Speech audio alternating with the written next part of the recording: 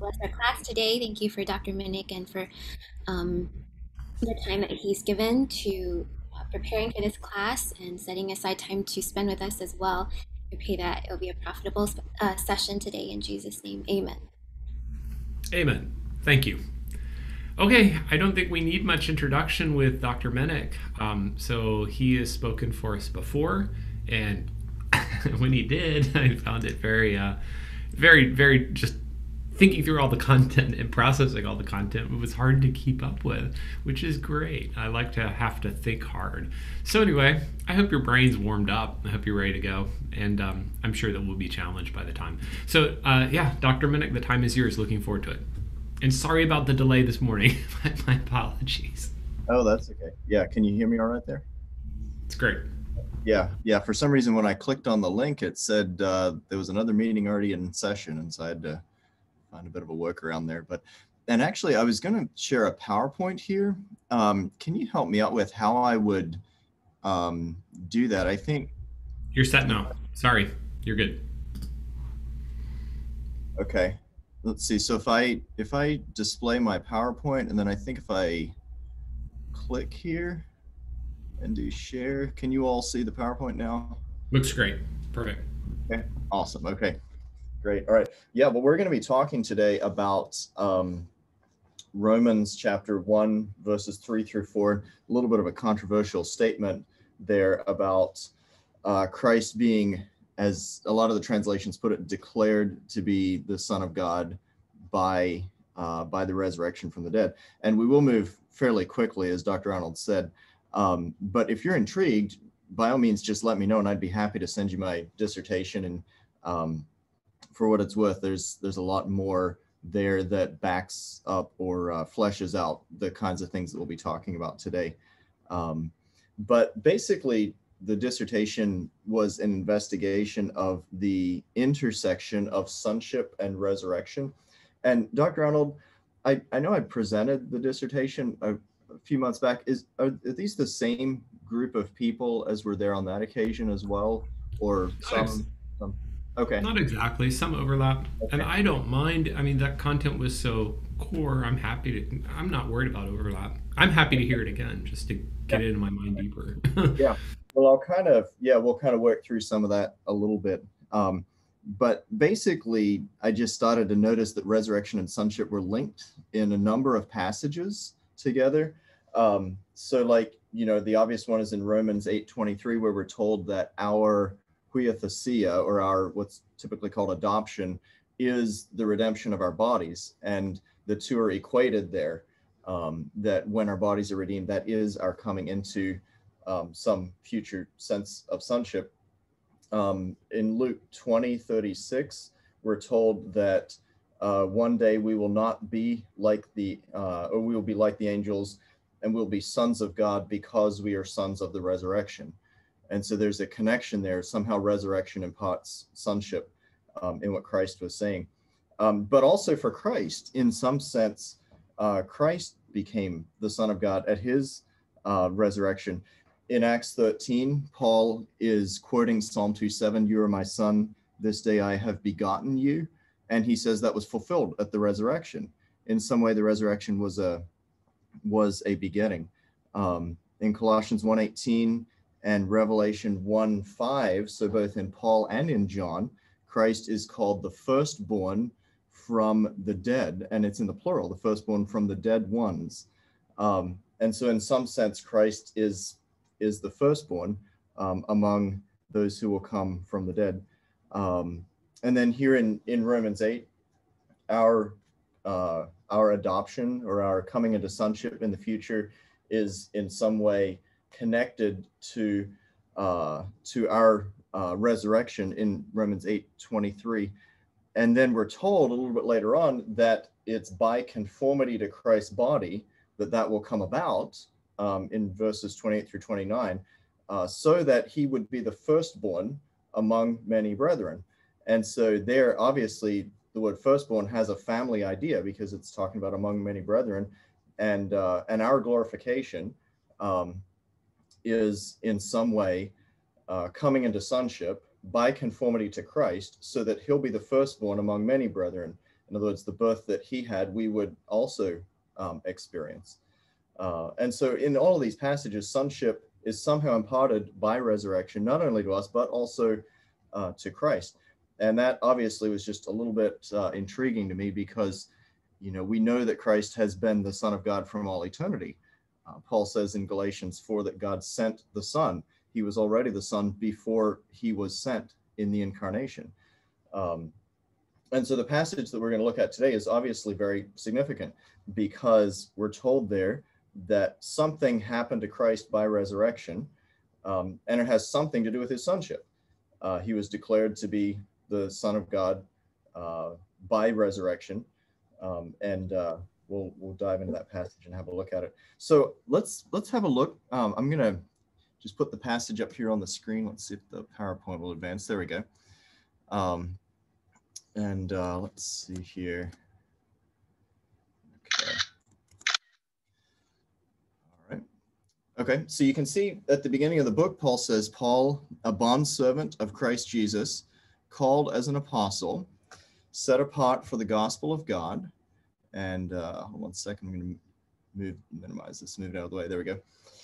So he's set apart for the gospel of God. So this is the topic that he's going to cover in this book is the gospel. And that gospel was promised beforehand through his prophets in the Holy Scriptures. And it's, and then you can see I've laid out kind of structurally the passage that we're going to look at today.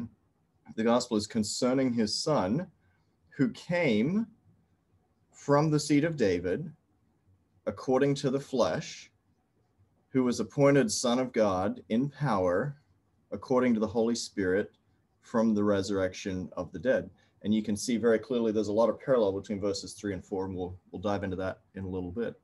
Um, but in some way, he was appointed, or a lot of the translations say declared, Son of God in power um, by the Holy Spirit by resurrection uh, from the dead. And so, um, what I found basically is that if you take this passage in isolation, um, it's very hard to make out what exactly is going on here. Um, you know, and, and a lot of people, they, they look at this passage and try to understand it all on its own and, and end up um, with this interpretation or that interpretation. Um, and, uh, and, and a lot of times they, they basically just look at the word appointed or, or uh, declared and what does that mean? And then they build an interpretation off of that. Um, but if you try to understand this passage within the context of what's going on in Romans, um, and more broadly, within the context of Paul's theology of sonship and resurrection, then it makes a lot more sense, and you can you can figure out um, and, and make sense of what's going on here. And more broadly, even just than Paul's understanding of sonship and resurrection, then there's the whole Old Testament um, context of the messianic expectation that Paul's building off of. Um, and so what we're going to do here is, is take a little time um, at the beginning to sort of orient ourselves before we actually dive into the passage. Um, so we're going to start here. Let's see, back to the PowerPoint. We're going to start with talking about interpretive options. Like, what do people actually say about this passage? Um, and kind of understanding a little bit of the debate there. And then we'll talk about the context of the passage, Paul's theology, the Old Testament, um, the interaction of sonship and resurrection. And then finally, once we have all that behind us, then we'll actually land in exegesis. And um, I think typically you all would uh, spend about an hour together and take a little break and then spend a second hour together after a break. And so maybe I think we'll hit the first two points in the first hour. And then in the second hour, we'll actually get to the, the exegesis and looking at the passage um, itself. Uh, but we'll, we'll kind of do it in that order. Um, so let's start with the interpretive options. Let's, let's talk about what people say when they come to this passage um, and uh, and why they say it. So somebody tell me, just you know, we read through the passage, and you've heard me talk for a second, but can someone unmute their mic and and tell us just really simply what is the basic interpretive question here that we are trying to understand?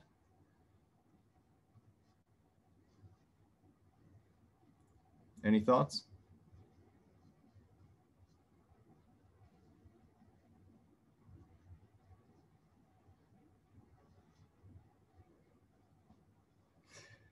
So the passage says that we were, or that Christ was declared to be the Son of God by resurrection from the dead, by the Holy Spirit. So, what's the question? Anyone want to venture a guess?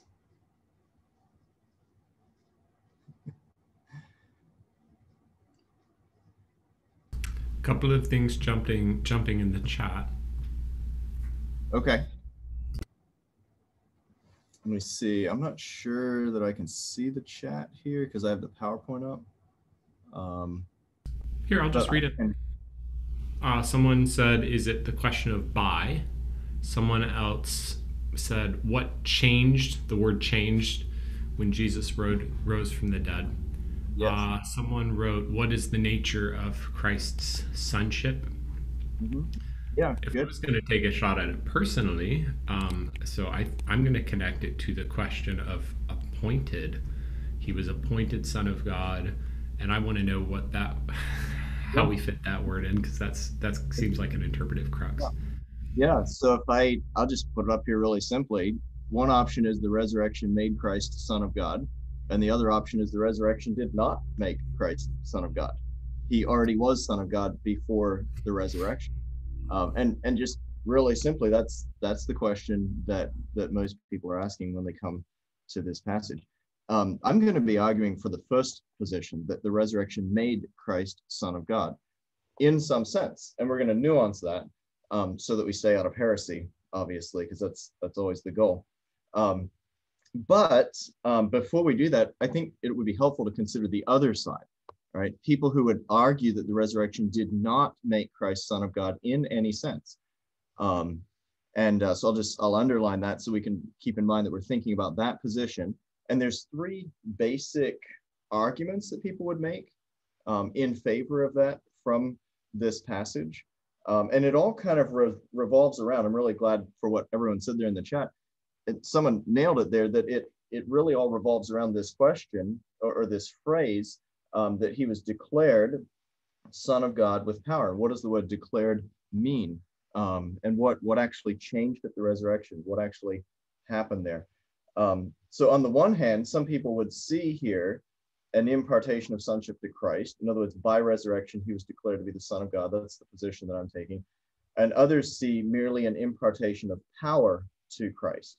Um, he was the Son of God from before the resurrection, and the resurrection confirmed or proclaimed or vindicated um, that pre resurrection claim to be the Son of God. So the Son of God was declared to be uh, such.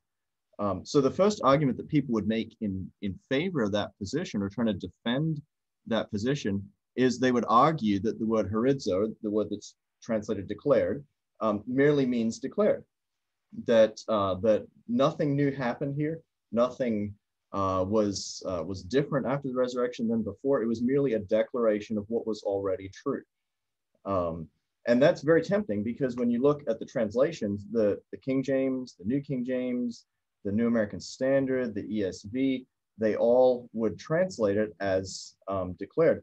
But when you start looking at literature, that's pretty much an antiquated argument. You won't find a lot of people today who are arguing this word means declared um, like I might, you know, declare that my name is Andrew. Well, it didn't make my name Andrew by declaring that. It was already my name. I just told you what was true. Um, and you would find very few people who are arguing nowadays that the word actually means that. You do find it in older literature, like Hodge's commentary on Romans or, or things like that. But most contemporary authors um, are instead looking at the way that this word is used. And we'll talk about this a little bit later on but they're looking at the way that the word is used and they're saying the word actually means appointed, not just declared. Like something actually changed, something was appointed to Christ here, or he was appointed to something. Um, and we'll we'll get into kind of some of that that terminology and that usage later on. But it's interesting that even these people who will say that the word means appointed rather than declared um, when they start trying to flesh out exactly what that means and the Christology here, a lot of times they de facto kind of revert back to uh, making the word just mean declared. Um, because if you use the word appointed, uh, then then you know that that has certain implications for sonship and things like that, and they don't want to go there. And so they'll they'll admit, yeah, it, it means appointed, but but then when they try to actually flesh out what it's saying, um, they they revert back essentially to a meaning of declared. For example, here's here's a, a person here. Um, this is uh, Brendan Byrne, who wrote on the idea of of um, uh, of sonship and things like this. And uh, he says there, what is clear is that the formula, Romans 1, 3 through 4, proposes a two-stage Christology. So verse 3 would be one stage, verse 4 would be another stage. And he says, while Messiahship, son of David, is conceded to the earthly career of Jesus, in verse 3, sonship of God is reserved for his risen state.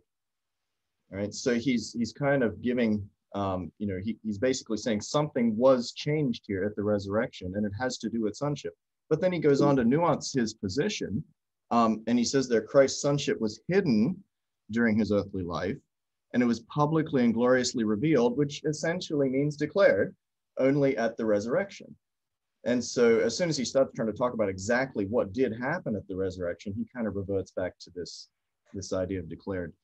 Um, a second argument that they'll pull out is that the phrase with power modifies son adjectivally rather than horizo, declared or appointed, adverbially. In other words, what changed at the resurrection um, is that the son was appointed to a position of power, not that the resurrection was a powerful appointment to sonship. Um, and so that little phrase in power modifies son. In other words, before the resurrection, he was son of God without power. After the resurrection, he was son of God with power. And it's that that uh, impartation of power that changed um, at the resurrection, uh, and that that was what happened. Uh, for example, Murray Harris, um, he says in these two verses, the apostle is defining the two successive stages of Christ's career. Right? His earthly experience had its beginning in his descent from David, whereas his open installment as Son of God came about at the time of and because of his resurrection from the dead. It was not the sonship of Christ, but his sonship with power that was inaugurated by the resurrection. For elsewhere, Paul teaches that Jesus was God's son before the resurrection occurred. And so, in Harris's view, the resurrection merely vindicated or confirmed um, the sonship of, of Jesus. And so, basically, what they're saying is what changed is that Jesus was given power, not that he was made the Son. Um, and that's a, a, very widely argued uh, position today. All right, the third thing that they would say um, is that Christ needed this declaration of sonship by appointment of power because his sonship had been hidden in the weakness of the incarnation. In other words, when Christ came, he appeared to just be a man, to be weak. Um, and uh, and and because of that, uh, he needed the resurrection to show everybody that he really was the Son of God, to make that that uh, uh, essentially declaration, um, and to be given power again. And the weakness of the incarnation was removed, and suddenly everyone realized, oh yes, he actually was the Son of God. Um, and they point to the little phrase there in verse three, according to the flesh, and they see in that a reference to the weakness of the incarnation. And so verse three is talking about um, weakness in his humanity. And then verse, verse four talks about the resurrection unveiling what was really there all along, um, that he was, that he was actually the powerful son of God. Um, for example, I've got a, uh, an example of this, of this argument. Francis Durrwell would say, before Christ had been born son of David in the weakness of the flesh, but in the resurrection, he was established son of God in the glory of power. The humiliations of his time on earth covered his dignity as son, but did not efface it. They did, however, make it suffer a real eclipse, for the weakness of his flesh was servile livery, a disguise put on over the sonship, which made him appear as simply a son of, of David. Um, and what we'll find is, as we kind of look at the passage itself, we'll find that these arguments, these three arguments here, um, are kind of they're they're very strained. Um, they didn't really account very well for what's actually going on um, in the passage. So the question is, if these don't really account well for what's going on in the passage, why would someone argue this way? You know, what would drive them to the position that I've underlined there on the screen that Christ was not in any way made Son of God at the resurrection. Um, and I, I, think the answer is obvious that they're trying to avoid the ancient um, the ancient belief of adoptionism, which held that Christ was merely a man and that he was adopted into divine sonship and deity. Um, and either that happened at his baptism or his resurrection. But in some way, this person who was merely a man, was adopted to become the Son of God um, at, at, his, at his baptism or at his resurrection. Um, and some people would even say that this is a pre Pauline adoptionist hymn or text that Paul's adapted to become, you know, more Christian or that kind of thing. Um, well, ultimately, Paul elsewhere, uh, like in Galatians 4, tells us that Christ was the Son of God before he was sent. Um, and so we know that, that Paul isn't holding to some kind of adoptionist um, position here. Um, and I also would argue that I'm not holding to an adoptionist position, even though I'm arguing for the first position, the one on the left on the screen. Um, because what I'm saying is that there's some sense in which Christ did become the Son of God by resurrection that isn't incongruous with Paul's theology of, res- of sonship from all eternity past, um, uh, from, from his pre incarnate state. And when we look at this passage and at other of Paul's writings, we find that um, that this sense of sonship that was imparted at resurrection was an Adamic sonship, and it pertained to his humanity. So at the at the resurrection, Christ reclaimed the sonship that Adam was created with, and that pertained to uh, to his human nature. And so there is no contradiction here uh, with uh, with his being the Son of God from all eternity as pertaining to his divine nature. Um, when Christ came in the incarnation, he took on a full human nature. He was humanity um, in in its, uh, or he was 100% human, and um, and as part of that humanity, he reclaimed something that Adam lost, and that pertains to his human nature. Um, uh, his his divine nature, on the other hand, uh, pertaining to a second or, or, to, a, to an original sense of his sonship um, is in no way set aside or abrogated by his coming to take this, this second sense of sonship that pertains to his human nature. And that in a nutshell is, is what I'm arguing. And we'll, we'll kind of flesh that out and, and talk um, more about that. So another, basically what I'm saying is this, this question did Christ become the Son of God at the resurrection, or was he already the Son of God, is actually a false dichotomy. Um, there is actually in the scriptures, I think, uh, teaching that that pertaining to his human nature, he reclaimed Adamic sonship. Pertaining to his divine nature, he already possessed sonship. Um, and so you can hold to both and not be a heretic. Um, at least my dissertation committee thoughts there. Um, so that that's kind of the the options. This is the two different ways that people would approach this passage. Um, uh, and, and we've looked a little bit at, at what they would say from the passage to try to argue that Christ in no way became the Son of God at the resurrection. Um, and that, that kind of orients us a little bit to the questions here uh, that people are asking and uh, the answers that they're giving. And so now we'll move on and spend a little bit of time just talking about the context of this passage. Um, and we'll we'll spend a little bit of time here, and then we'll take a break, and we'll actually dive um, into into the passage itself. Um, but you know, when you think about Paul's epistles, a lot of times at the beginning of his epistles, he makes these um, really theologically rich statements that appear to be uh, very isolated. You know, he doesn't take the time to stop and explain the whole theology that the statement is coming out of. He just kind of gives this summary, um, really deep theological statement. Um, and then later on in the book, he may explain it, or he may just assume that the reader knows the theology that the statement is coming out of. And, um, and, and basically, when you look at what's going on here in this passage, I, I think I think that's what's happening here. Um, the statement isn't isolated in that it doesn't fit with Paul's theology. it's isolated just in that Paul doesn't take the time to stop and explain it. He's going to spend the rest of the book explaining it. Um, but he kind of throws it out there um, at the beginning. So to understand what's going on here, uh, we can't just take the passage in isolation. You can see I put the reference up there on the screen. It's just kind of sitting there on its own, kind of down in the corner, isolated, kind of lonely, you know. And you can't, if, if you approach the passage that way, you're kind of scratching your head and trying to figure out what on earth is going on here. Um, but that passage happens within a context of the book of Romans, right? Um, in fact, it's an introduction to the whole book of Romans. Paul's going to spend the book of Romans talking about the gospel. And he gives us here in this in, in this statement at the beginning just kind of a little seed form of, of what he's going to talk about throughout the rest of the book. Um, so there's a whole context of the book of Romans. But but beyond that, there's Paul's theology. Paul had thoughts about what sonship and resurrection were and how they interacted with each other.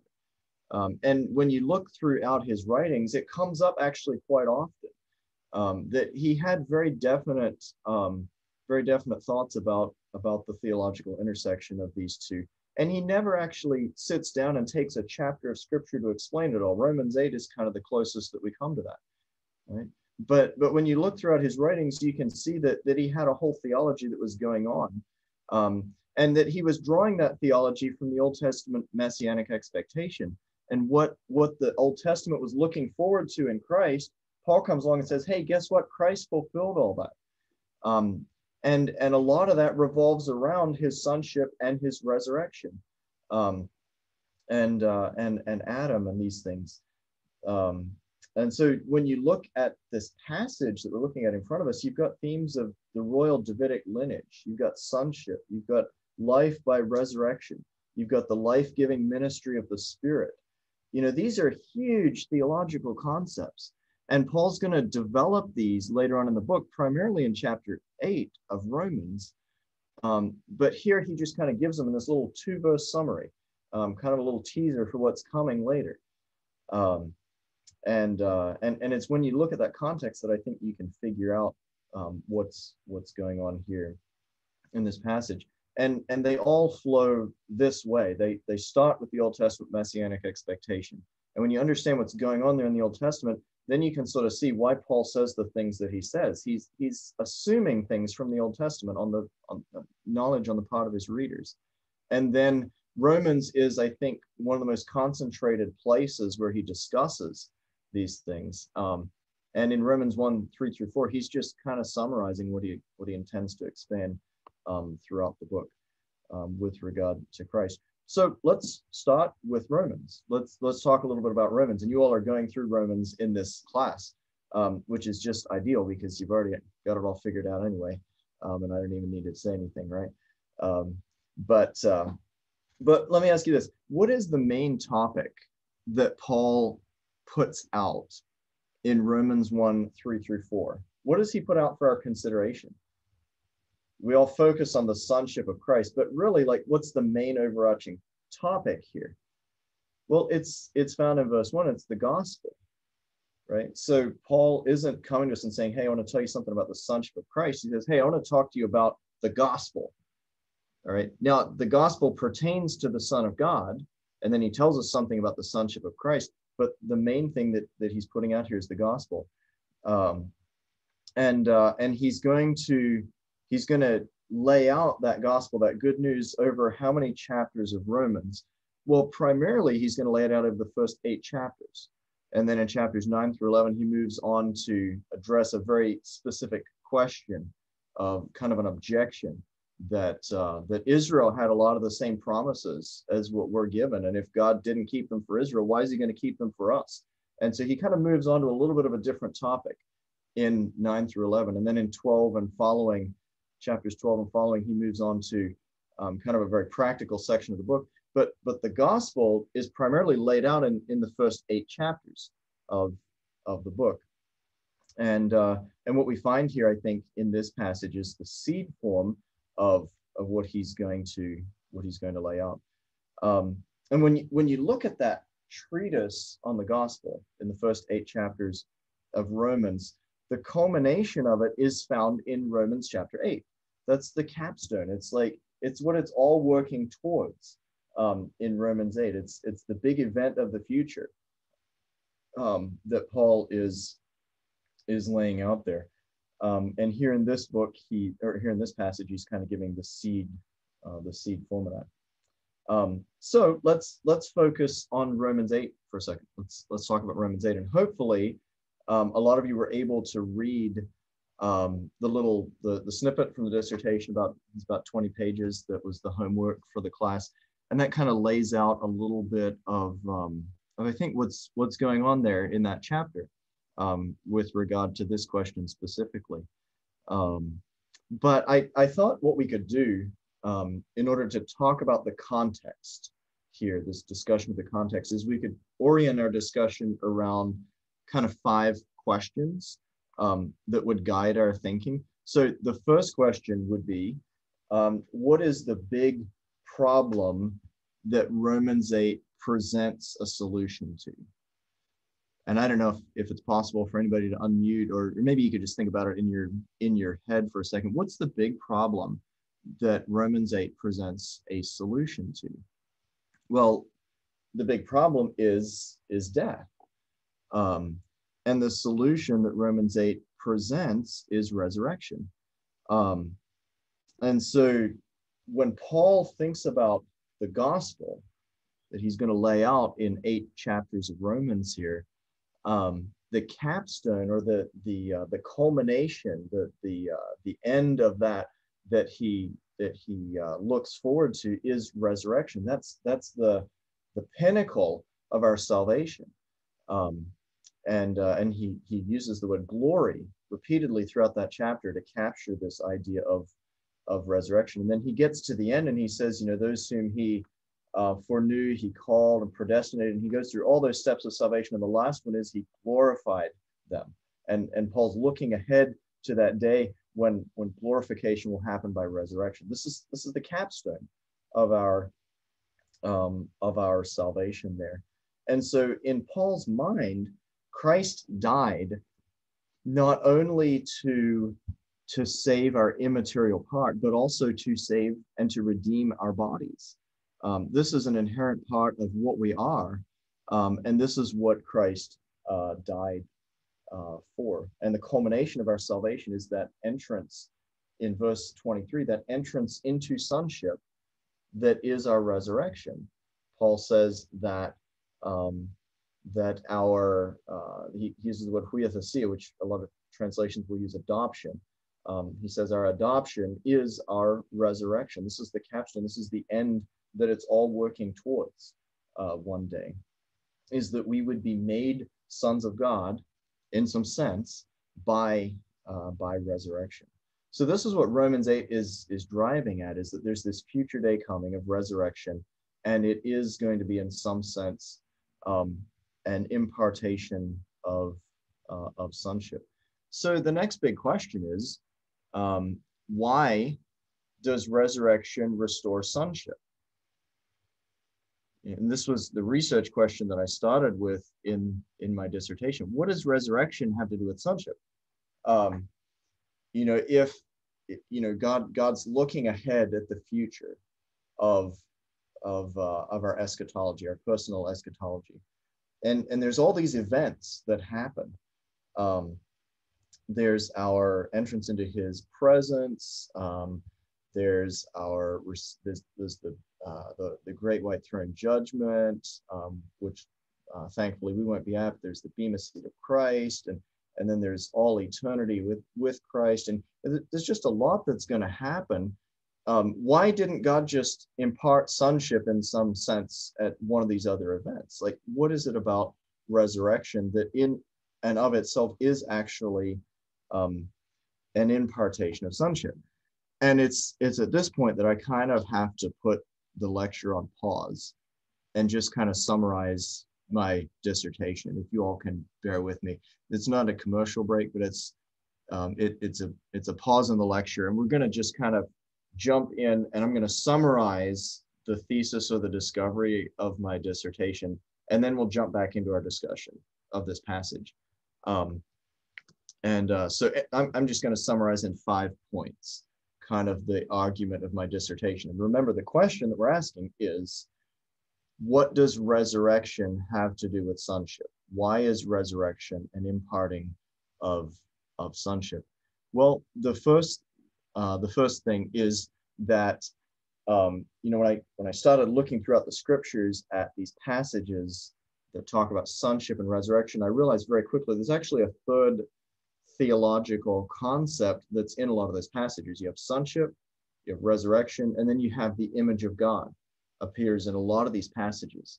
Um, and it it looks or it seems like um, that uh, um, that that the image of God is is the theological link between resurrection and sonship. Um, think about this in Romans 8, right? In Romans 8, a lot of what Paul talks about, he casts as being a reclaiming of Adam. So he talks there in, in Romans 8 um, about resurrection, and he presents that as being fundamentally an undoing of the curse in Genesis 3. You know, he talks about the creation groaning under our imperfect rule. Uh, he talks about um, uh, he talks about us groaning. He talks about death, which came in Genesis 3. Um, and so he he's presenting resurrection and all of these things as being in some way an undoing of Genesis 3. All right. So if these things are an undoing of Genesis 3, then to understand them, we probably want to go back to Genesis 1 through 2 and the original creation. In other words, whatever God is doing, if it's an undoing of the curse, then probably it's a redoing of what Adam was created with. Um, and so to understand them, we can, you know, it, perhaps the clue is found in in looking back at the creation story um, and at Adam. Um, and when you look back at the creation story, um, I think you know what what you see there is that that Adam was created in God's image. This was the big. Uh, th- this is the big um, uh, theological concept in that story of Adam's creation. God made man in His image, um, and there's a lot of discussion of what the image means. You know, what is the image of God? But when you when you flip over just four chapters later in Genesis 5, you find there that that Moses intentionally parallels God's creation of Adam in his image with Adam's having a son, Seth, in his image. And, uh, and in the dissertation, I take a little while to argue that that's actually a very much intentional parallel, that, that Moses is trying to say to us that what happens when a father has a son is is a lot like what happened when God created Adam, um, and and that we can understand the creation of Adam by our own experience of of having children, all right? And I I have um, three three sons. Seth is six, and Micaiah is four, and Levi is one, and then we have a daughter due to be born in about three or four weeks. So actually, just last night we were thinking about a name uh, for our daughter. What are we going to name our daughter? You know, it's an exciting time.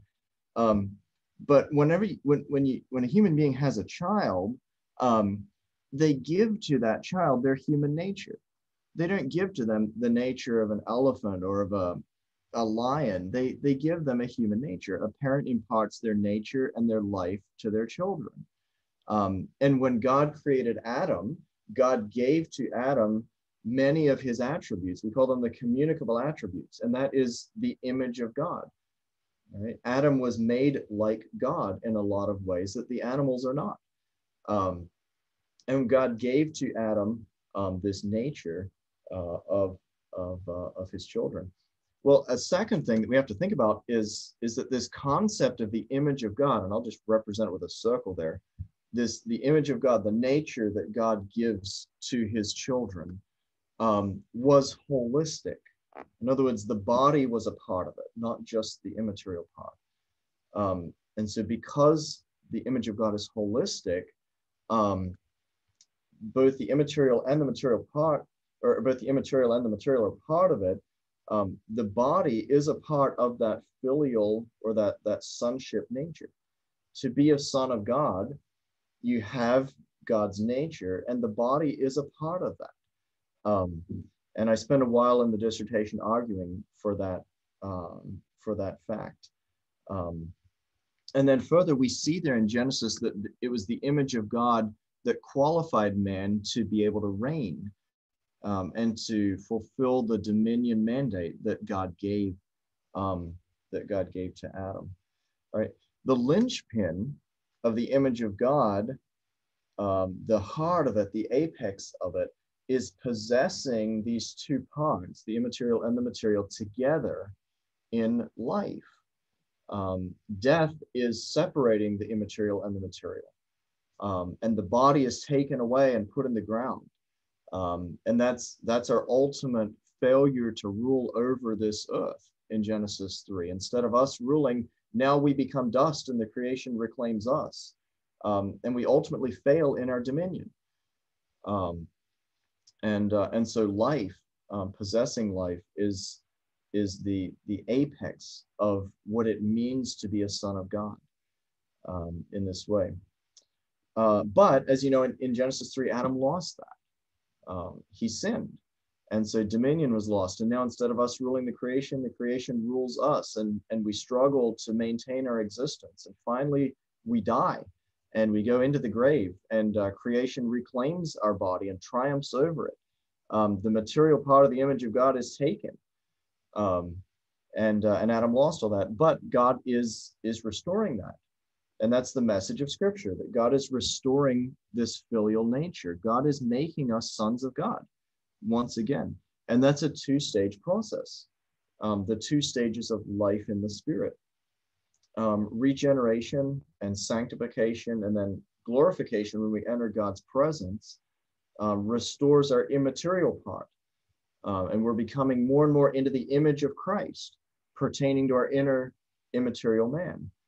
Um, but uh, resurrection restores the material part of the nature of God's sons. And so it's in that sense that resurrection is an imparting of sonship. Um, this nature that God gives to his children um, in our current state is yet incomplete. Um, our immaterial part has to be finally perfected when we enter God's presence. And beyond that, our material part has to be restored. Um, if we're going to once again have the nature of God's children. Um, and that will will happen at resurrection. And what is Christ's role? Well, because he was fully human, Christ's human nature included the material part of the image of God. He was fully human. He had a human body. Um, and and Paul tells us that um, uh, that uh, uh, it was restored by resurrection to be what our bodies will one day be made by union with him. We'll, we'll look at 1 Corinthians 15 in a second and um, some passages like that. And so Christ's role really is, is the prototype for this restoration process. Um, and in that sense, he is the first to be born from the dead. Um, in, and he went through that, that birth process that, that by conformity to his body, we might one day by resurrection go through it as well. Um, and that's his role. Okay, so that's my my whole dissertation in like one little bit. And if you want to read the the whole thing, which I wouldn't encourage, um, you you're very welcome to though, and you can email me, and I'd be very happy to send it to you. Um, dissertations are something that you write so that they can sit on a shelf somewhere, right? Um, but but if you're at all curious, I'd I'd love to send it to you and hopefully that kind of orients you a little bit to why resurrection is an imparting of sonship both for us and and for christ as well. All right so let's let's dive back into the discussion now. All right we kind of answered that question. What's the big problem that romans is presenting the solution to? Death and resurrection is a solution. All right why does resurrection restore sonship? Well because sonship of god means that you have the nature that God gives to his children. You have the image of God, and the body is a part of that. Um, and uh, and is, is a very important part of that. All right, so what is Christ's role? in all that? Well, we kind of alluded to that. Christ's role is that he's the prototype. All right. When you look at these at these passages pertaining to his humanity, not his deity, but pertaining to his humanity, he went through at his resurrection, begetting into this sonship. His body was made into something that by conformity to that body, our body might be made into it one day. And, and this is what you see in First Corinthians 15. Paul argues that by resurrection, our body will be conformed to Christ's body. And he says that that will complete restoration into the image of God, into the image of the heavenly. Um, in Acts 13, he tells us that, that the psalm, You are my son, this day I've begotten you, is fulfilled by Christ's resurrection. It was in some sense a begetting. Um, you know, he's he's called, as we alluded to before in Colossians 1:18 and in Revelation 1:5, in a, in a passage from John, he's called the firstborn from the dead. And the word dead is in the plural. He's the firstborn from the dead ones. And then here in Romans 8, we see this whole wonderful passage about how we are going to be coming into sonship by resurrection one day when our bodies are restored. And that happens at the end of the chapter by um, being conformed to the image of Christ. And God specifically ordained that it would happen that way so that Christ would be the firstborn among many brethren. God wanted our restoration to happen by conformity to Christ's body, by union with him, so that he would have a lot of brethren and Christ would be the first one to be born among them. Um, and you can see that, that he's building off this idea that Christ was born by resurrection into this Adamic sonship when his body was made into what our body one day will be made um, by, by union with him. Um, it's fascinating. It's really, really exciting when you look at it. All right. Well, what is uh, okay? So the role of Christ is the prototype. Um, he was the first to be born. Um, what's the role of the Spirit?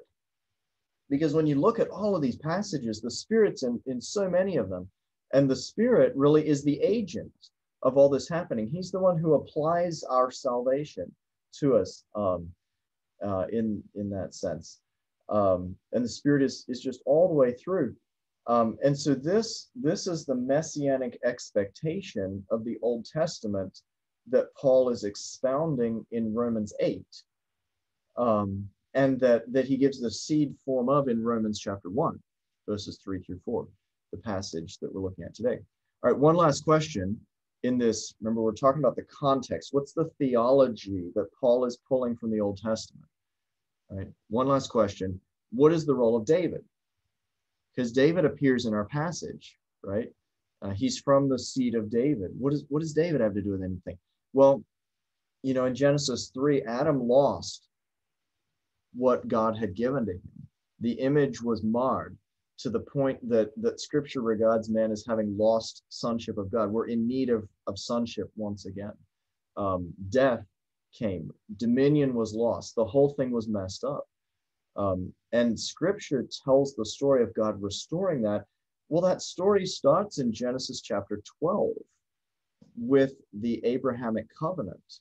And Abraham and Israel are presented there as an attempt to reclaim what Adam lost. Um, and uh, and and so Israel was was supposed to be a race of reigning sons of God. Israel's called God's firstborn. Um, and and she was to reclaim everything that Adam lost. And as the epitome of that nation, the Davidic kings were supposed to be uh, the ones who who reclaimed this. And so it's for that reason that that the Davidic kings are called the firstborn in in Psalm 89. And Psalm 2:7, you're my son, this day I've begotten you. That was originally said of the Davidic kings. Um, and all the way through, the Davidic kings were were supposed to do this and and did they succeed? No they failed because in the old testament era there was no provision for restoration of the image of god. What god gave under moses there was no provision for restoring the image of god. And so these men died. Every one of the davidic kings died. They failed to be the forever reigning son of god. Um, they failed to reclaim what Adam lost. And it was as they failed, one after another, that this whole dynasty collectively um, produced a longing for the Son of God who would come and who would reign forever, and who would not only be the image of God, but he would also be able to restore us into the image of God and to do the restoration work for all of mankind. And so as as as the Davidic kings failed one after another, that that the Old Testament creates and builds this longing for the Messiah to come and to do to be the last Adam and to do what uh, what all of these kings failed to do. Um, and and that's all what Paul's I think talking about there in Romans 8 and these other passages where he parallels Christ um, with Adam. And hopefully you were able to read through the discussion of Romans 8 as part of the homework. But you see there in Romans 8, it's all a reclamation of Adam. It's painted as an undoing of Genesis 3. Um, and Christ's role, we've talked a little bit about Christ's role throughout that chapter, is, is the prototype. Um, that what's going to happen to us happened first to him so that by it happening to us, by union with him, he becomes the first to be born among many brethren. God doesn't just want one Adamic son, he wants a whole race of them. That was his uh, intent from the beginning. And you see there in Romans 8 the Spirit's role. You know, the Holy Spirit occurs hard or is, is seen hardly ever in the book of Romans until you get to Romans 8. And then it's the whole thing's about the Spirit of God and his doing this work. And Romans 8 presents two different stages of life in the spirit. Um, basically, what Paul's argument is in Romans 8 is look, look at what God did, or, or look at what the Spirit of God did for your inner man. He's given you life and he's given you sonship pertaining to your inner man. And if he could do that for your inner man, then he's also going to do it one day for your outer man. And that's the hope that Paul brings in this chapter. He says, look, look within at what at the life and sonship that you have now. If God's spirit could do that for your inner man, then he will do it one day for your outer man as well, because these are just two stages of life in the spirit. Um, and the spirit's goal is to is to one day birth us um, by resurrection.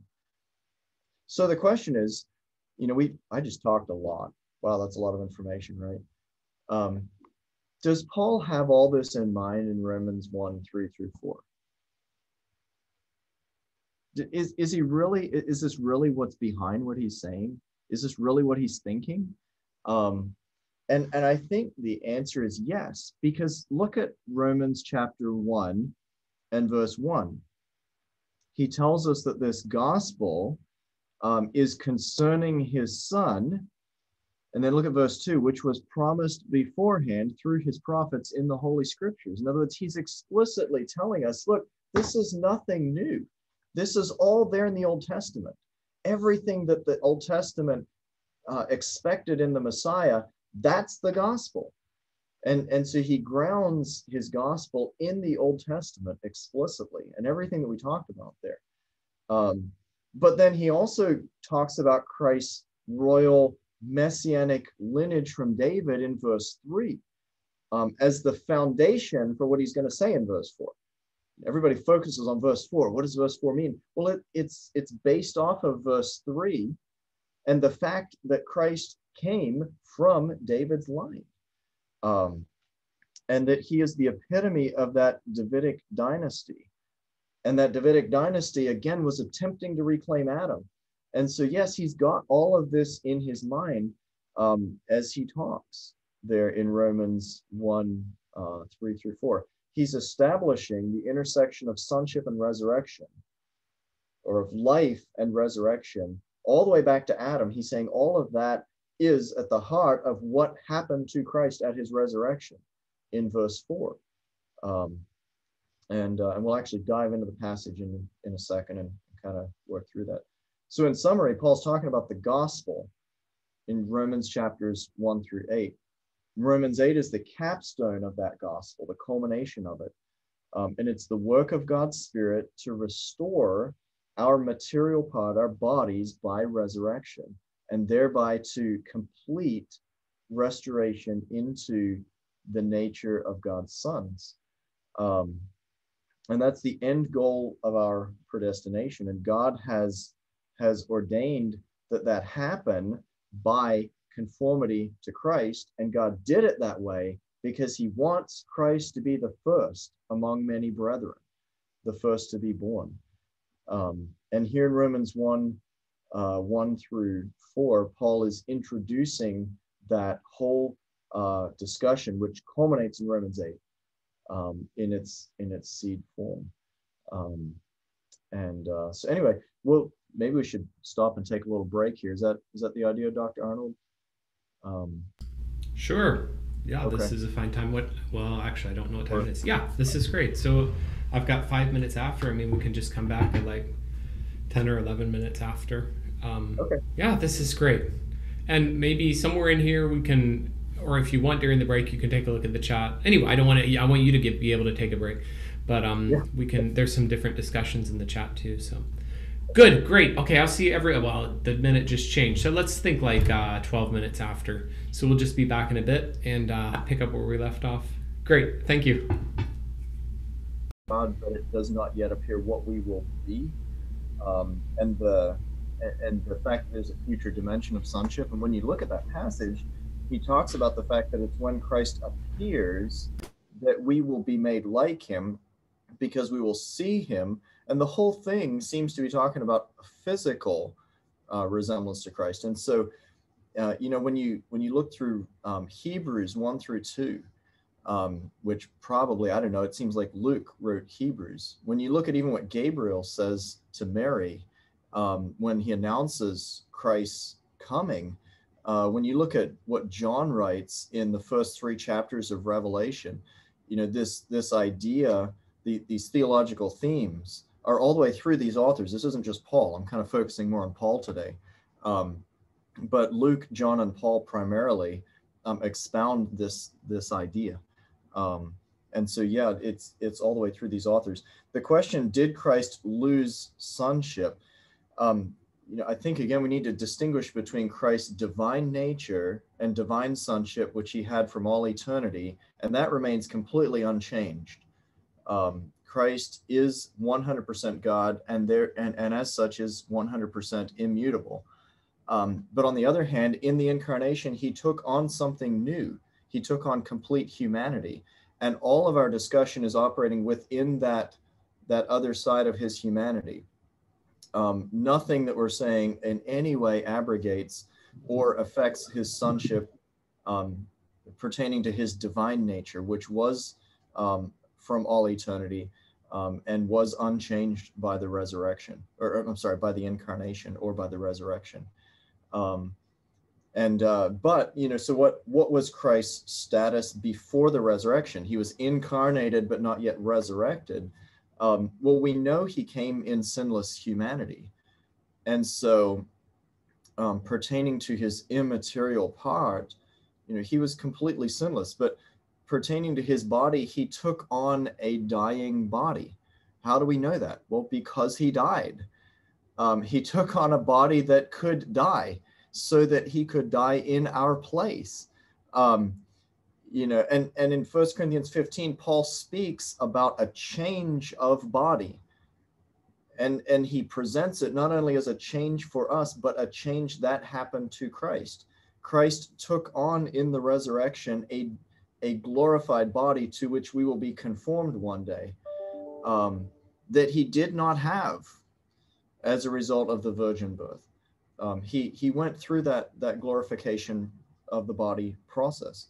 Um, and so pertaining to uh, his his status before the resurrection, while in his incarnation, he was completely sinless, but he did have um, a dying, a a a, uh, a, body that could die, would probably be the most uh, specific way that we could word that. Um, uh, and and then the resurrection uh, imparted to him uh, the glorified body to which we will be conformed. Um, and so there was a, in that sense, he did take on a new dimension of the nature of God's children pertaining to his humanity. at the resurrection. Um, so anyway, so hopefully that that helps with some of those questions, and at the end we can certainly follow up and and uh, and talk more about those. Um, but the important thing is that uh, you know to understand that the distinction between the sonship of Christ from all eternity pertaining to his deity that was in no way abrogated by the incarnation. And then on the other side, you have pertaining to his humanity and his possessing the image of God as a man. That's where our discussion is located. Um, and uh, anyway, so hopefully that that helps with some of those questions.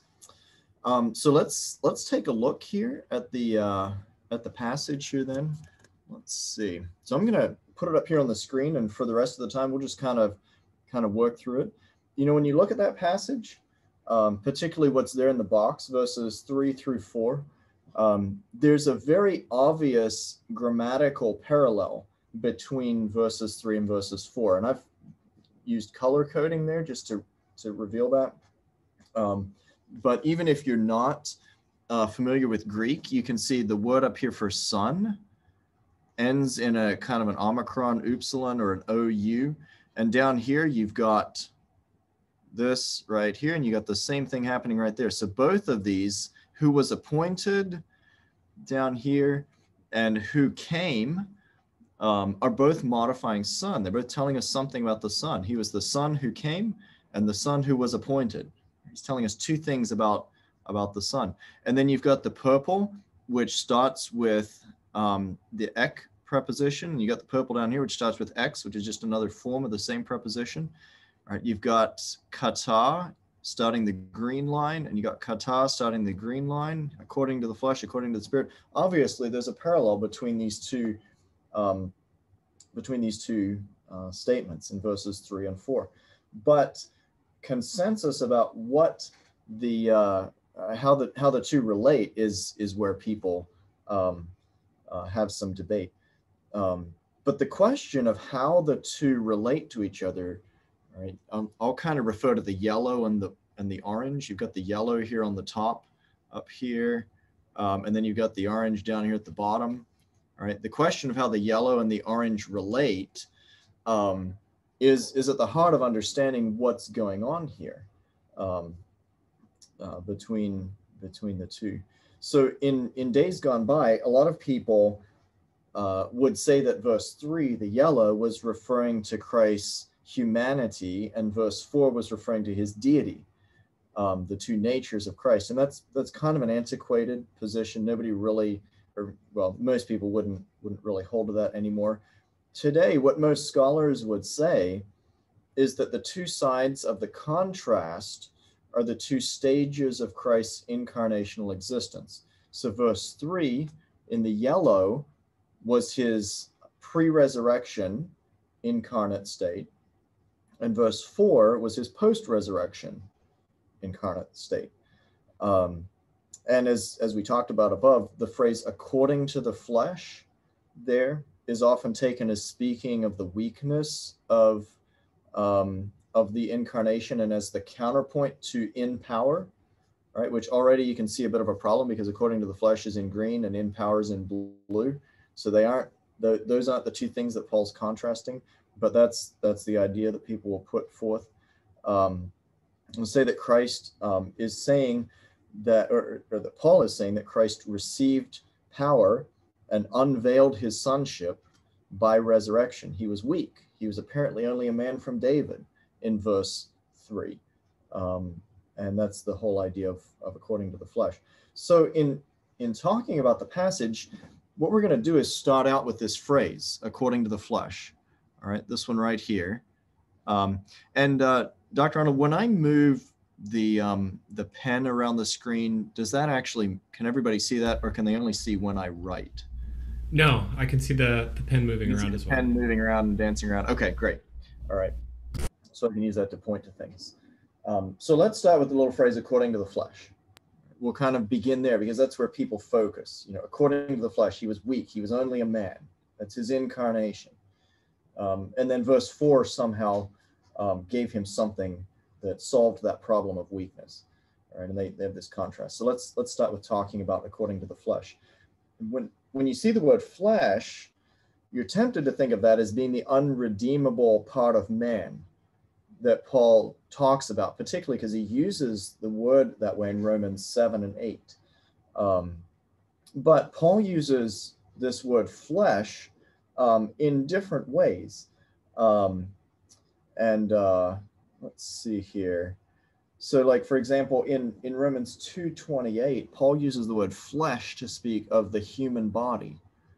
Right, and I think that the way that Paul uses flesh, even in Romans seven through eight, is very closely connected to the human body, um, all the way through. But in Romans two twenty eight, he he clearly speaks about it as connected, um, or as being the human body.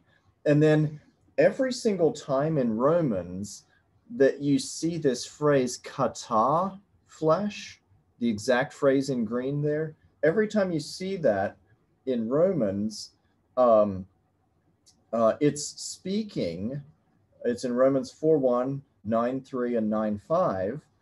Every single one of those times, it's talking about the concept of human ancestry. Uh, it's not talking about your body per se or the unredeemable part of man, these other senses of the word flesh. It's talking about human ancestry. And so, what Paul's talking about here when he says according to the flesh, he isn't focusing on some pre resurrection weakness that Christ had. He's talking about human ancestry, right? So, um, uh, you know what what he's saying here is uh, pertaining to his human ancestry he was from the seed of david. He was from the line of david. Um, and uh, and he's he's not trying to make some statement about about weakness.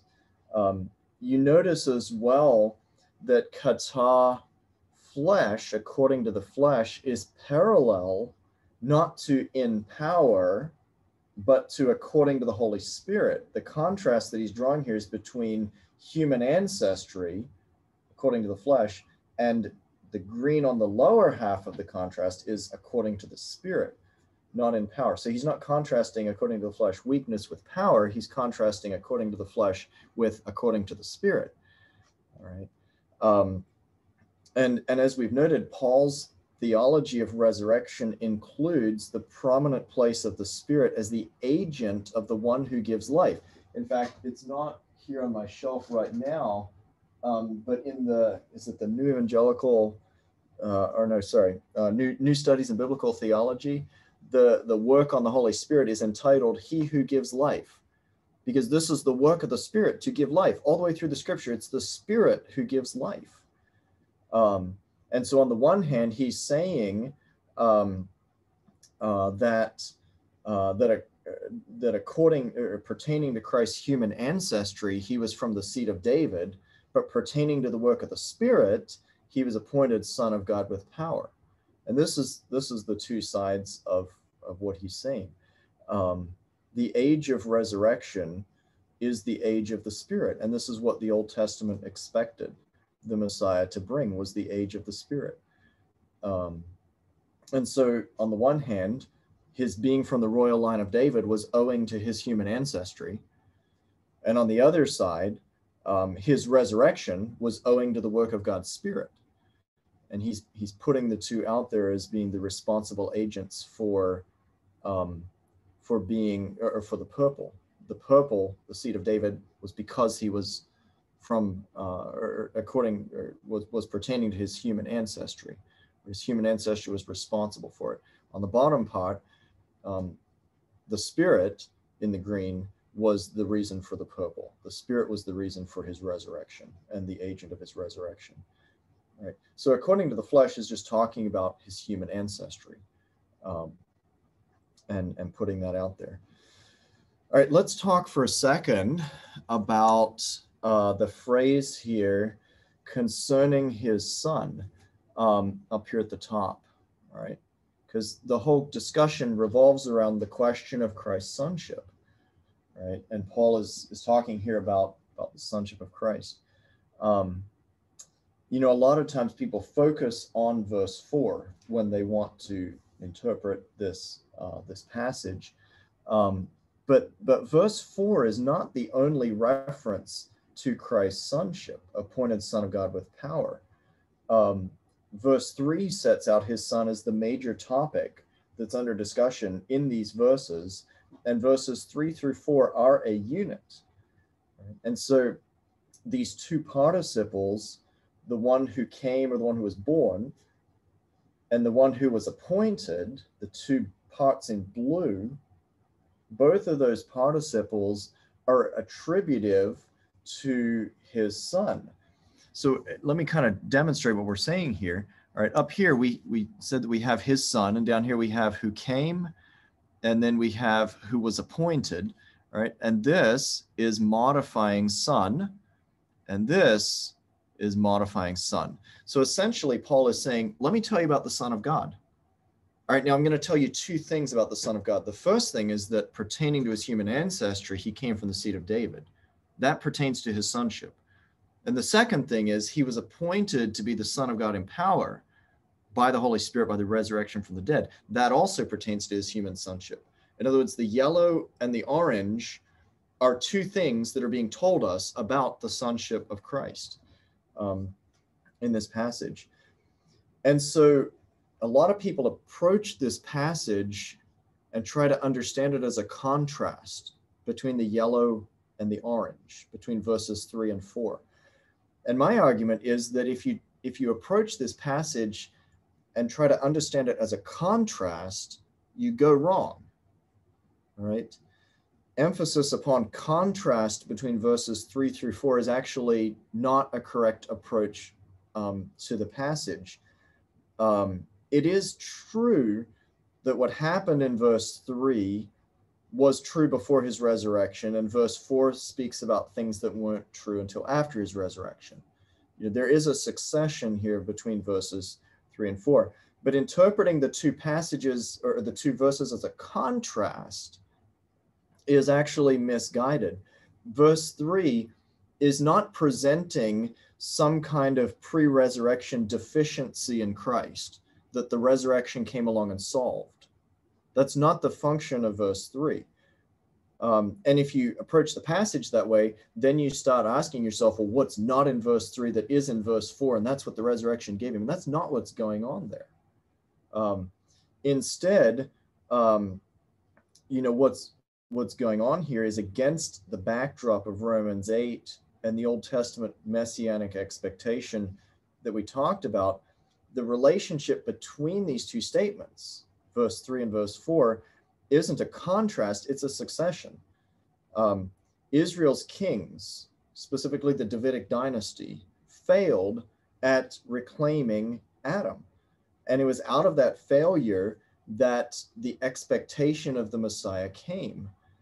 Um, in other words, what's going on here is, is verse three is actually his qualification or his credentials for verse four happening it was expected that the one to whom verse 4 would happen, the one who would reclaim Adam, that he would come from David's line. And so you can see how verses 3 and 4 are not a contrast. Um, instead, it's a, a succession. Verse 3 is, is telling us what was true of Christ um, that qualified him to be the one to have verse 4 happen to him um, and to have this happen by by resurrection. Um, he was from the line of David, and um, all the way through Paul's writings, um, it's uh, it's to one who was from the line of David that this work of resurrection would happen, and he would become um, uh, he would become the Son of God to whom we could be conformed. Um, so verse three is isn't telling us something that was wrong with Christ that the resurrection fixed. Rather, verse 3 is telling us why he qualified for what happened in, in verse 4. And so, according to his human ancestry, pertaining to his humanity, this is why we're saying this whole discussion happens within the human nature or dis- discussion of the human nature of Christ.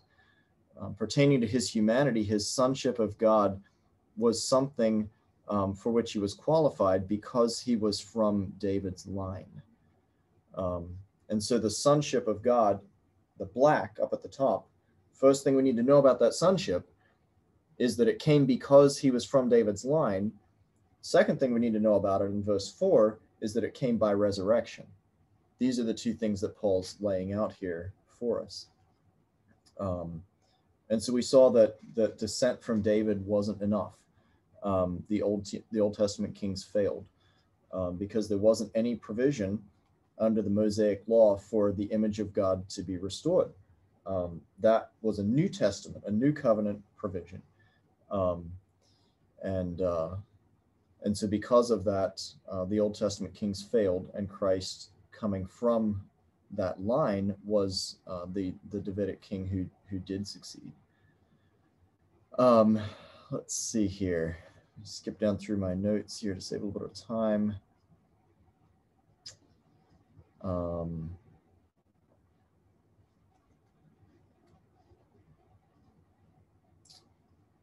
okay.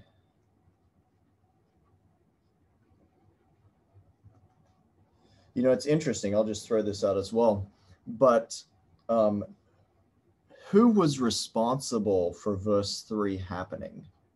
Who was responsible for Christ being born of Mary from the line of David? It was the Spirit of God. Gabriel told us that the Spirit of God would come upon Mary. Um, and so verse 3 is actually the work of the Spirit of God. Verse 4 um, the resurrection is is the work of the Spirit of God as well. And so that's that's just kind of a side note that that God's Spirit is involved all the way through um, in that way. Uh, let's see here. Okay, all right. So uh, we'll we'll kind of pick back up here. This is this is Paul's conception of of Christ um, remember, he's telling us about the gospel of God, and it pertains to the Son of God, and he wants us to know two things about that Son of God, two things about his sonship.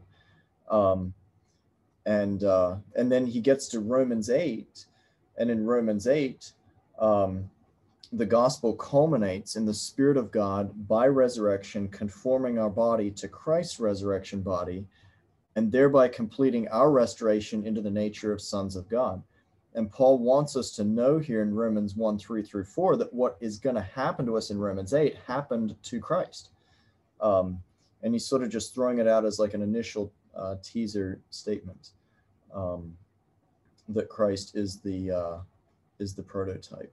So Paul is here setting the stage for his that that discussion of the uh, of the gospel. Um, let's talk for a second then about what everybody wonders about. Um, this word right here, uh, appointed, or a lot of the translations will say declared. All right, um, and uh, and talk about that.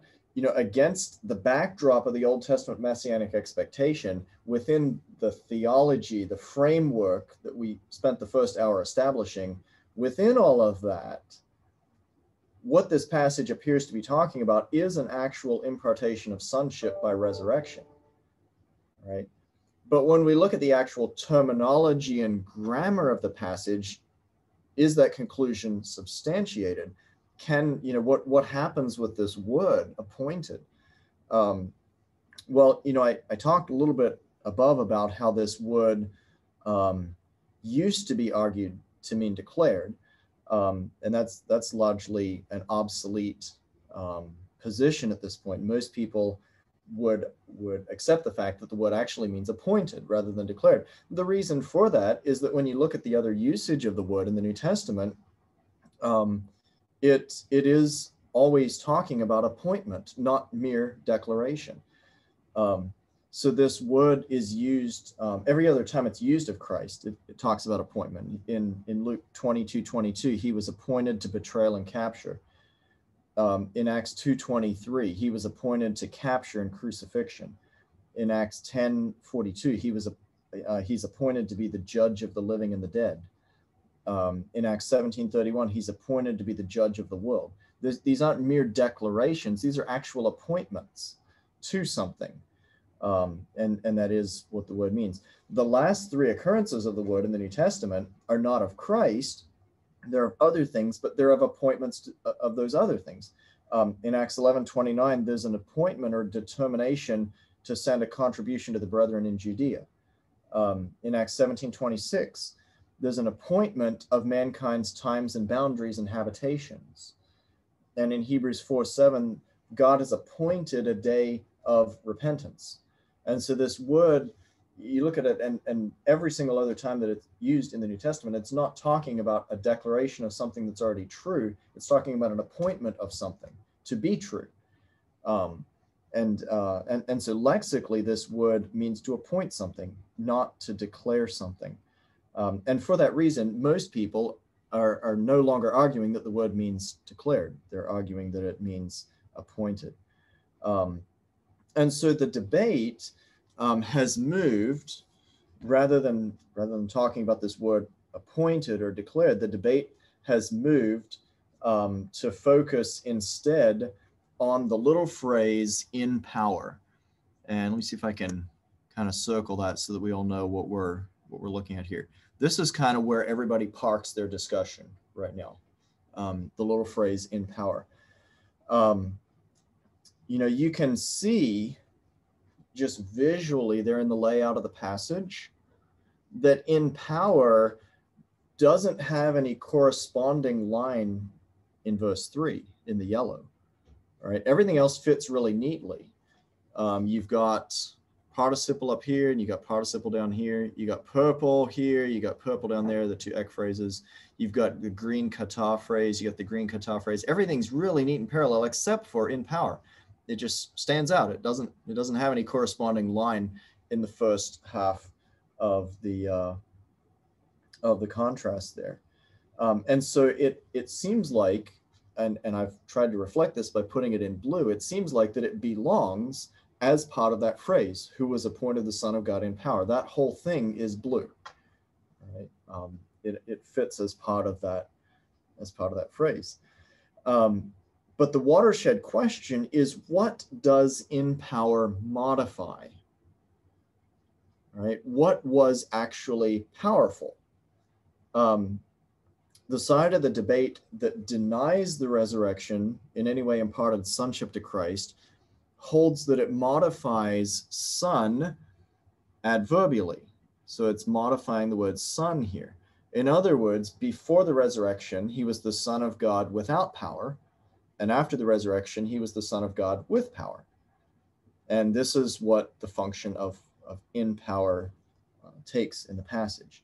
It's, it's telling us that the Son of God was, was given power. That's what changed at the resurrection. Um, on the other side of the debate, people would say that the word in power modifies appointed. So he was a powerfully appointed to be the son of God. And you can see how they're they're saying that because they want son of God to be what was appointed, not power to be what was appointed. Um, and, and so that would be the uh, the other side of the debate. Well, when you look at the word uh, power throughout the New Testament, um, it occurs uh, a lot of times. A lot of times it's the object of en, like it is here. And when it's in those positions, sometimes it's adverbial and sometimes it's adjectival. So just tracing out the usage of in power uh, doesn't help us because it can be both. It's used either way. Um, uh, and, and it really, you know, just just from the usage of the phrase, it, it could be adverbial or it could be um, adjectival. Um, uh, but in this, so, so anyway, in this passage, um, the deciding factor um, isn't whether it's adverbial or adjectival. The deciding factor is really what is affected by the verb appointed. Was he appointed to be son or was the son appointed to have power? What was appointed? Was it sonship that was appointed, or was it um, power that was appointed? And when you look through the passage, there's there's arguments for both sides. Um, you know, on the one hand, several considerations would support the idea, and uh, maybe I can just kind of try to reflect it. The question that we're asking is was it sonship that was appointed or was it power that was appointed? All right. Well there's there's several arguments to support the idea that it was sonship that was appointed the top arrow. Um, you know on the one hand uh, or in the in the first place, there's all the the contextual considerations and the theology and the background that we talked about already. Um, and Paul overtly sets that Old Testament messianic expectation as the foundation for what he's saying here um, by telling us that it was proclaimed beforehand through the prophets and by saying that he was from the seed of David as the qualification for this happening. Right? So contextually, um, it would seem that um, that Paul's talking about an appointment to sonship, a reclamation of what Adam lost, and uh, and we talked about all that. Um, you know, think as well uh, that Paul um, has already stated up above here that the topic of the discussion is the Son of God. All right. Um, so if he's merely saying that the resurrection gave the Son of God power, then horisthentos is is a confusing choice of verb um, to say that the Son of God was appointed to be Son of God in power um, is redundant, and it would make a lot more sense for him to use a verb like like give power or uh, or bestow power. The word appoint doesn't talk about giving an object like power, the word appoint talks about putting a person in a position, right? Um, and so he, the, the very use of the word uh, appoint um, seems to indicate that that it's actually son that's receiving the force of the verb, not not just power. Um, uh, let's see. You know, we we talked about the fact that that he's already said that he's the son of God up here, and so if he was merely saying that God was giving him power, he could have much more simply stated that. He could have said, um, the son whom God gave power.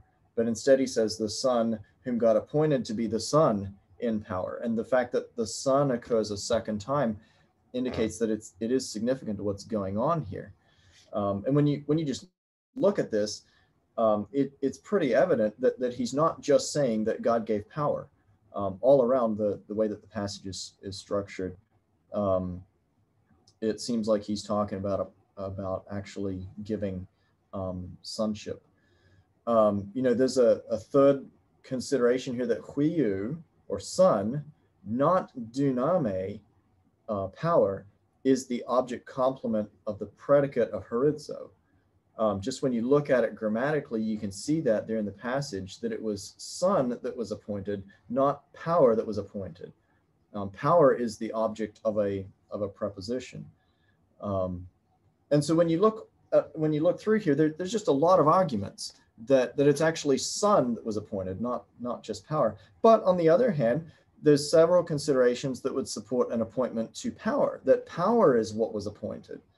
Um, uh, you know, if if power was not a part of what the resurrection appointed, then um, then you have to embrace the adverbial use of the phrase with power. But in the in this, you know, in the chiastic structure of the passage, um, power doesn't have any corresponding line in the first half of of the passage in in verse three, and so it, it kind of it interrupts the neat chiasm and it stands out as something that's really important. All right. Um, obviously, power is a big part of what Paul's communicating here, and and if you if you want to say that it's taking an adverbial function, he was powerfully appointed to be the Son of God.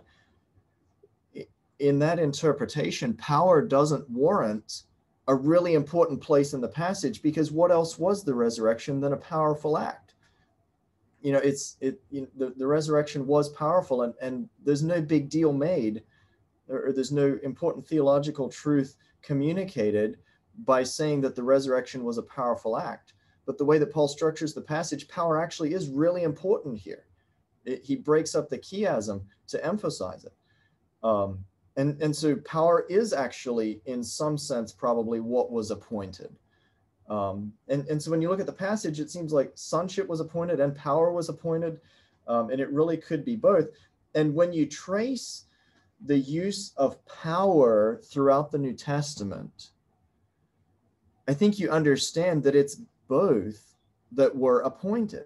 He was appointed to be son, and he was appointed to have power um, by the resurrection. And you find there theology in that word power that's worthy of that really important place in Paul's chiasm. Um, you know, every New Testament occurrence, except for somewhat cryptic one in Philippians 3.10, um, every New Testament reference to impartation of power, dunamis, by resurrection, talks about one of two kinds of power. Um, in the first place, there's the power of messianic rule. And you find this in Matthew 26 at the trial when Christ talks about having power to rule um, because of his um, uh, of his resurrection. And he's alluding back to Psalm 110 and Daniel 7. Right? So you have the power of, of messianic rule. But resurrection also in 1 Corinthians 15 imparts um, the power of life.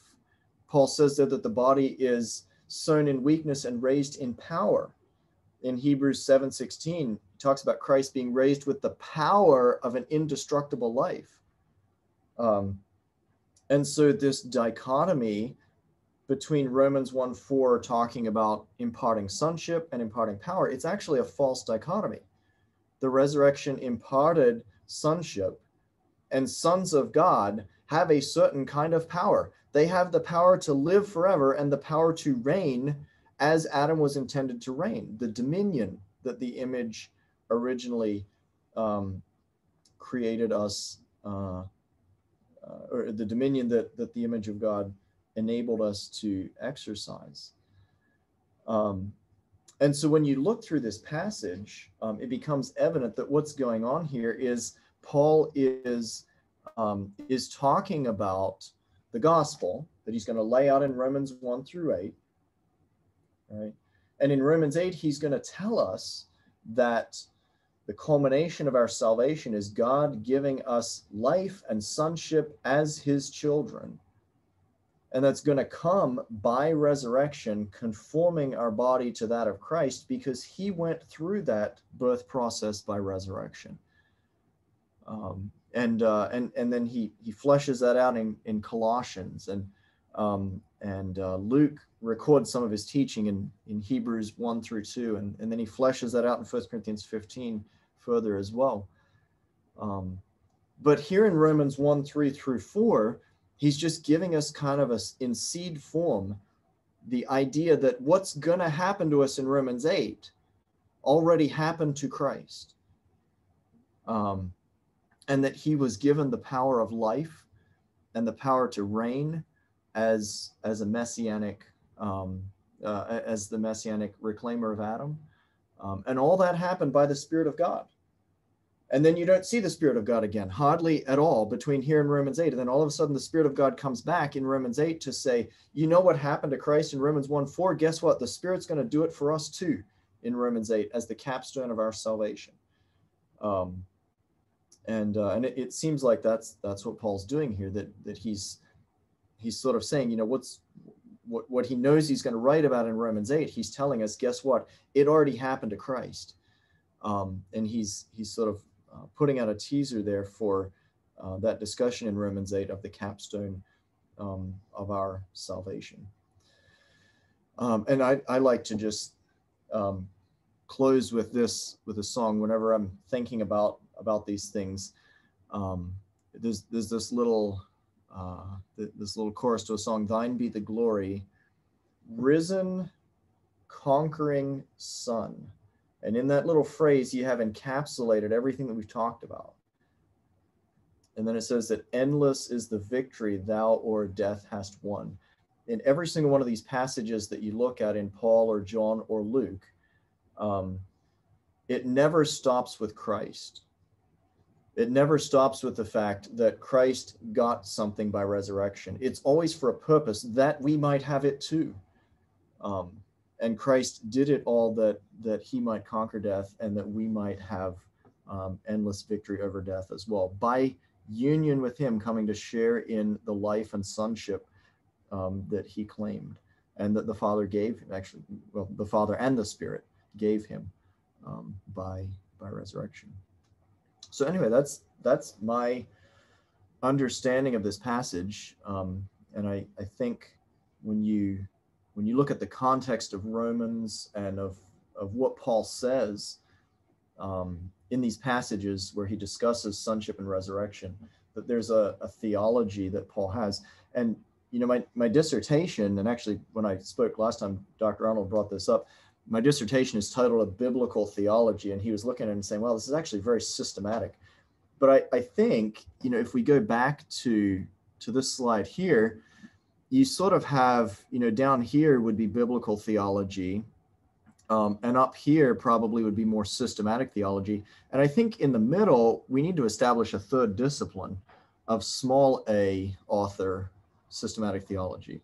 Uh, and that, that's really what we're doing is trying to figure out what was Paul's small a author systematic theology. Um, and, uh, and, and then once you sort of discover his idea of the relationship between sonship and resurrection, both for us and for Christ, all of a sudden these passages in Colossians 1 and Romans 8 and um, and, and the passages and other authors that were influenced by Paul, um, all of a sudden you start seeing that that he's he's drawing on that theology without ever stopping and just explicitly laying it out um, as clearly as what he does in, in Romans 8. So, anyway. Great. You know what? I think um, I think you earn a special badge or a title. I, I don't think uh-huh. any of our other teachers in the whatever like three years that we've been doing this has ever ended with a poem.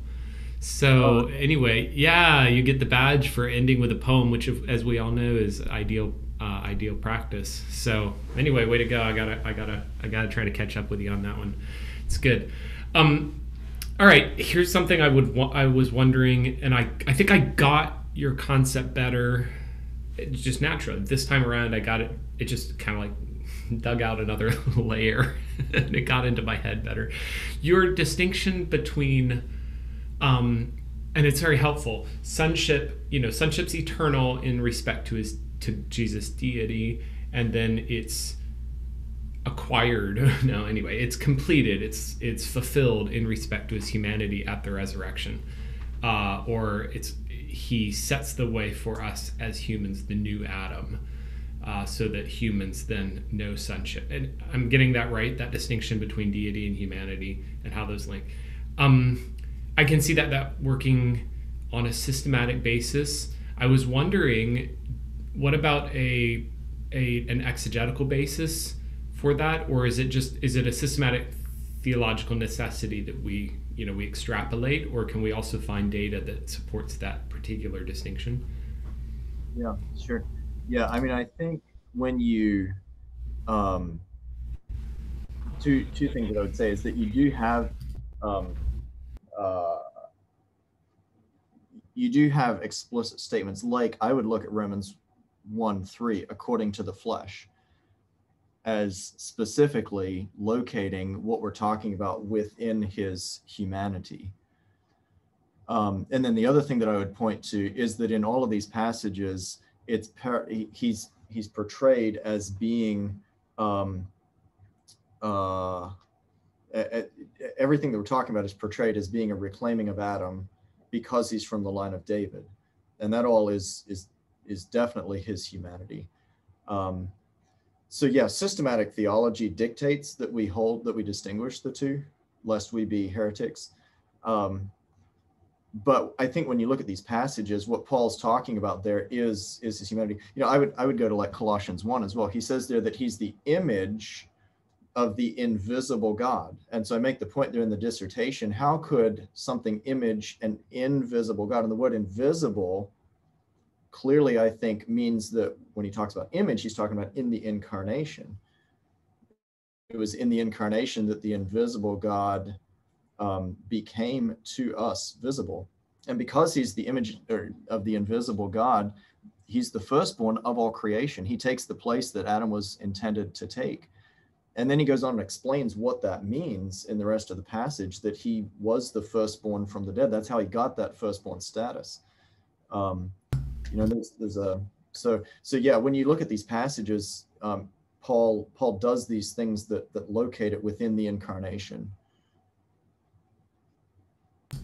It's good. I mean, what what really um, what I what I enjoy about your thesis is that there are a bunch of data points that I don't know. I mean, we come to them and we kind of do the best we can with them, but we end up sort of like, okay, this is here, and here's what it does mean, here's what it doesn't mean, but not really linking it in a way that that what do you say?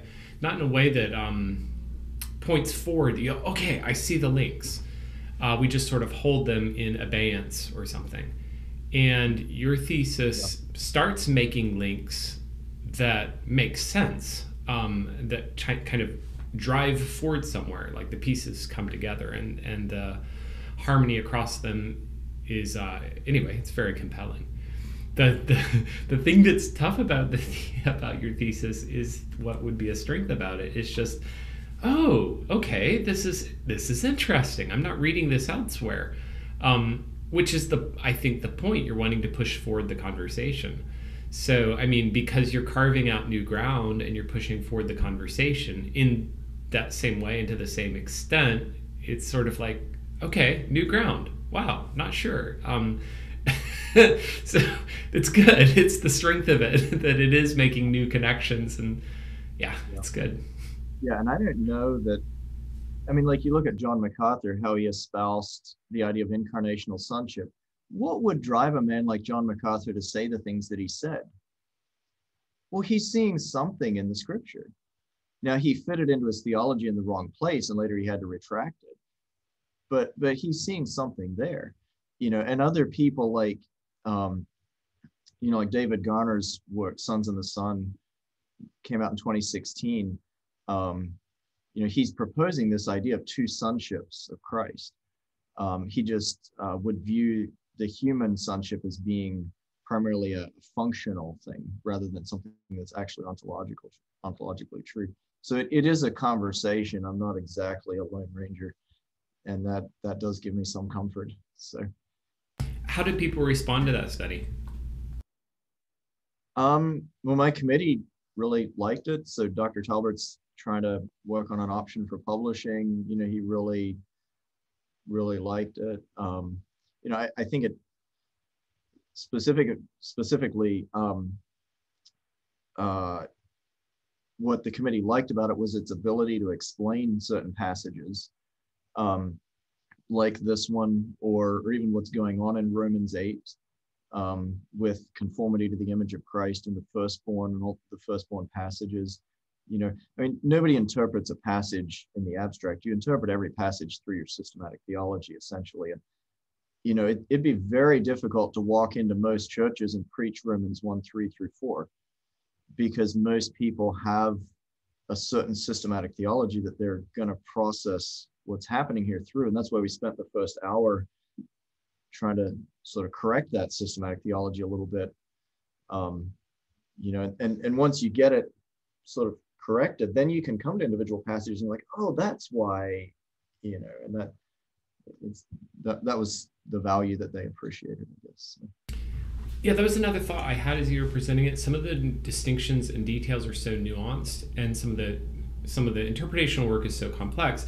One thought that hit me: wow, I mean, it would to try to communicate this, let's say, to a lay audience, would be really hard is it's very detailed, very nuanced. But the next thought I had was I, I think some of the reason that we can present more like older and more established views and we can get that work done in a lay audience context is because you know layer upon layer teaching it in a lot of different contexts people are already familiar with that reading of it. So you're actually what you're doing is you're kind of going down a rut that's already there. And therefore it's a little bit easier to grab.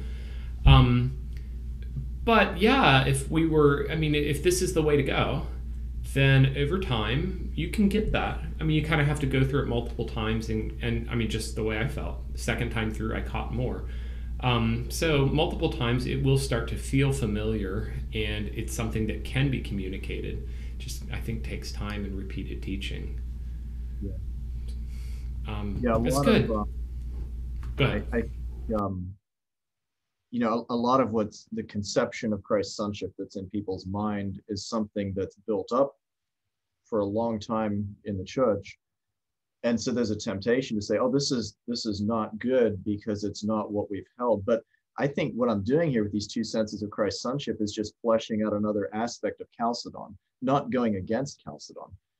Um, you know, and uh, and and so what we would what we would call orthodoxy um, is is maybe more of a snowball of thousand or two thousand years of studying the scripture. Um, and and then it's within that snowball of, of, that system of one sense of christ's sonship that we try to understand every passage and it just some of them that's just not what's going on there you know. Um, and da carson wrote a book on the son of god where he really cautions us against um, uh, against just holding one sense of christ's sonship you know so other people are, are recognizing this and um, just no one quite fleshed it out do you know Thomas Kuhn, The Structure of Scientific Revolutions? No, I'm not. Uh, I mean, it's a completely different discussion, but it's in, um, yeah, anyway, it's just like a scientific context. But the context there goes we have certain models, explanatory models, and the data accumulates and maybe sometimes against the models and it accumulates but we continue to try to like basically we can kind of fit the data in kind of force it in in different places. We keep on forcing the data in until eventually the data accumulates large enough that we can't hold our models anymore and the model collapses and we collapses and we rebuild a new model. Um, so anyway the question always goes you know is the data enough yet that we need to collapse a certain model? And i'm not saying that you're collapsing a model um, but a certain framework for understanding it. I mean we this is the way that thought happens. We kind of we, we need to keep on testing things and okay but maybe maybe this is a better way or consider this. And then yeah so i mean i'm very very glad for and I, some of the uh, the explanatory usefulness of the framework you're proposing it makes sense in a lot of these texts. Anyway i'm looking forward to continuing to learn with it thank you thank you again for the the excellent work and presenting it. Um, so you've heard from our guest, and uh, as you have further questions or further discussion, we can take we can stay in touch. And um, anyway, we're of course again very grateful for his time and the effort he put into this, representing years of study that that preceded the presentation tonight. Um, and then we'll look forward next time to hearing from Dr. Olinger and continuing on from there. You have a homework assignment but it's a very short one. And I did that on purpose. We've had some heavier uh, homework assignments. I would just add in here if you did not get to the reading here with Dr. Minnick, I think that's it's fine if you didn't get it before the lecture. I would encourage you since our next homework assignment is lighter, see if you can go back now if you missed this one, read it now. And I think that's just fine too, hearing a presentation first and then going back and reading it can also get it in your mind at another angle. Um, so anyway, I hope you'll take advantage of the the lighter homework next time to kind of go back and hit this one. And uh, Dr. Minnick, thank you again. We'll look forward to uh, we'll look forward to hopefully hearing from you in another context. but we're grateful for the time that you gave us tonight. Okay.